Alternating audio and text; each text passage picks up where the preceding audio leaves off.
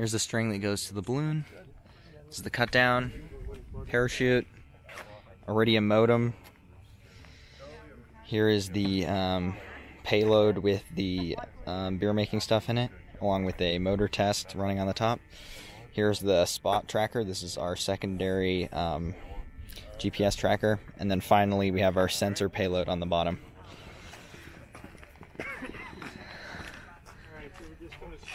There's the balloon.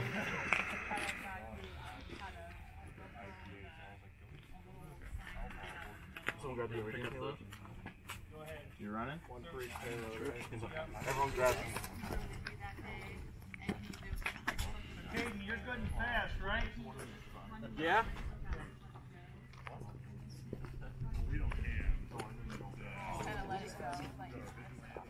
Yeah, so Okay, so we're gonna stretch out so, uh, Andrew, Uh,